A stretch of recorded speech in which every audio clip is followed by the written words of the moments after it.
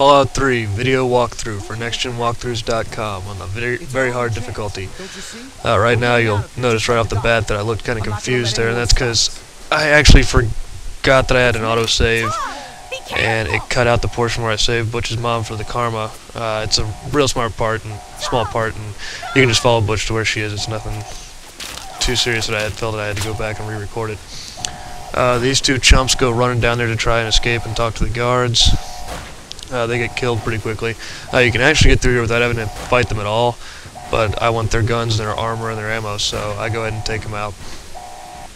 Uh, you'll see I do my... to try and uh, keep them from running at me too quickly. Doesn't work out so hot, I don't think, but... Uh, and really stupidly, I also just stood there at one point to try and line up my shots and just started taking bullets. Um, I'll chalk that up to drinking. Uh, actually, on one playthrough, the, the roaches that are down the hallway to my right came in there before I even had a chance to start shooting at them, and took them down to mostly dead, so... I mean, the game's real weird about how the AI acts. but I'll chime back in here in a little bit. What's the matter?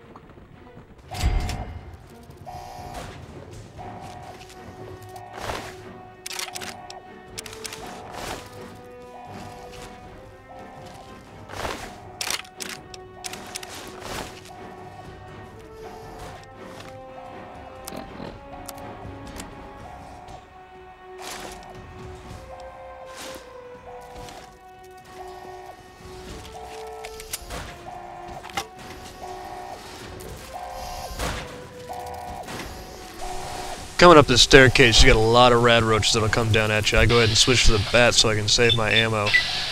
Um, a little bit less than perfect, but at least I didn't use probably like you know all of my ammo trying to kill just a few roaches. Uh, keep that in mind whenever you're fighting any of the rad roaches or um, the the bees or whatever they are. Just save your ammo.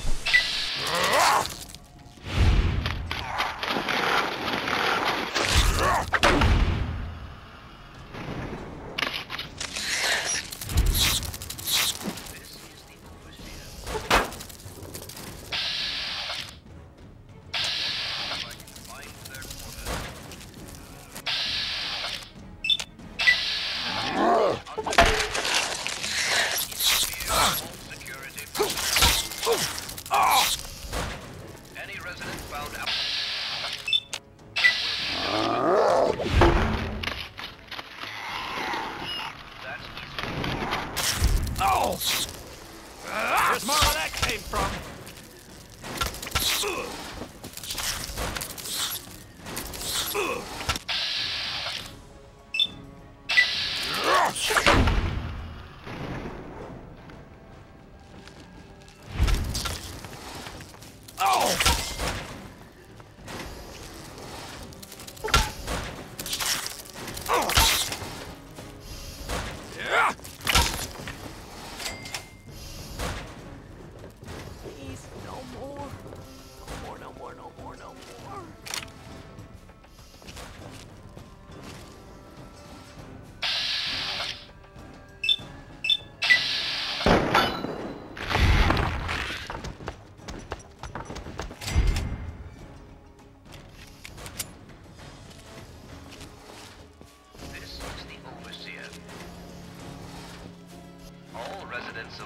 101 are hereby confined to their quarters.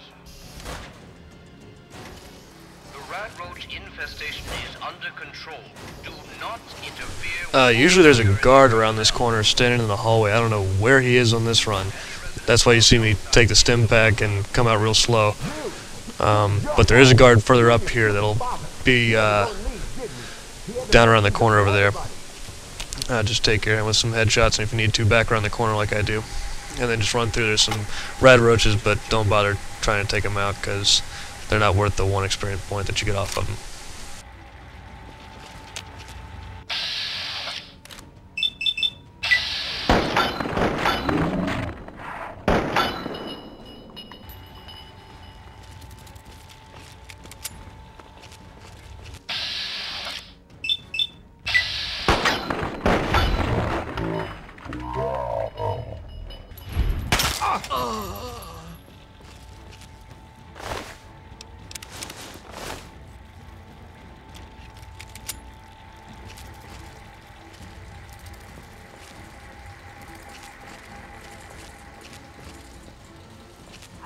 You, I don't know anything. Alright, coming up in here, you'll see uh, the conversation with Amata and her father, the Overseer. Uh, I choose just to completely ignore the situation. She comes out fine later on here in the uh, this walkthrough. Uh, but you can go in there, and I think one of the options is to just shoot him in the head. Um, and one of the other options is just to talk him out of it. I don't know what actually it is. I should probably have done that just so I could talk about it and not look like an idiot. But uh, here's the room right before his office, which you now have two options. Um, I have the lockpick ability and could pick the lock. Uh, I don't because I go back and show where there is actually a key in one of the bedrooms to unlock the door to the overseer's office. So, at least you got options. If you don't have the lock picking ability, you can just go get the key. Uh, once you get in there, there'll be a computer waiting for you. Uh, I actually had to edit out like three attempts. I just could not manage to get the word right on that thing. But um, basically, I'll go ahead and talk about how that works. Um, whenever you pick a word, it'll give you on the right-hand side uh, a fraction that will tell you, you know, one out of five or whatever, depending on how many letters there are. What that's basically telling you is that one of the letters out of the five is in the correct spot. So you can then kind of weed out other words. It's, it's really easy once you get two letters. Um, it really sucks if on your first try you get zero, because that just means you have to try even harder and faster, because uh, your intelligence ratio, or not intelligence ratio, your intelligence number, and I think your uh, your science ability will give you a better chance of, or certain number of chances extra to, to do it with.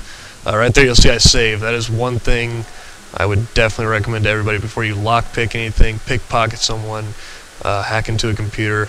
Just go ahead and save. Save it on a separate file, and then that way if you fail, you won't get locked out of the computer.